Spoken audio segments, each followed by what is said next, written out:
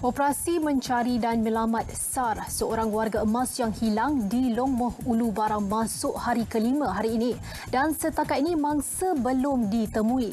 Ketua Jabatan Bomba dan Pelabat Zon Miri, Lau Poh Kiong dalam kenyataannya memberitahu mangsa yang dikenali sebagai Sigau Anyi, 73 tahun dari kampung Long Moh Ulu Baram dilaporkan hilang oleh anak mangsa pada 29 Mei lalu. Operasi SAR telah dilakukan ke kawasan hutan sekitar sekitar kampung dan sungai iaitu Sungai Karing, Pulau Liok, Sungai Anau, Sungai Moh dan Sungai Baram yang membabitkan pencarian dari Sungai Moh ke Sungai J dengan radius pencarian sejauh 7 hingga 10 km.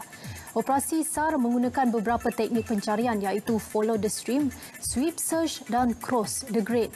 Antara agensi lain yang terlibat dalam operasi ialah polis, rela dan orang kampung.